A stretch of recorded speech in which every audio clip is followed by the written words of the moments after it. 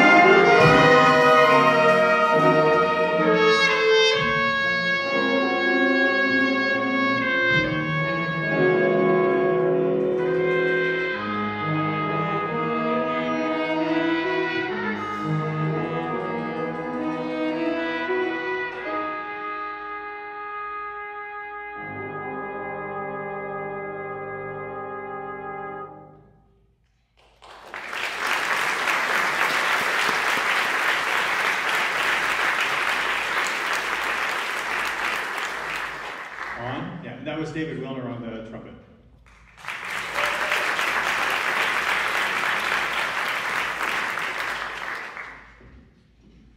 Next song features a few people. It's going to feature Chris, no, Christine too on the uh, on the piano. It's going to feature Cornelius Duffy on the alto saxophone and Idan Sney on the trombone. The entire saxophone section on their saxophones.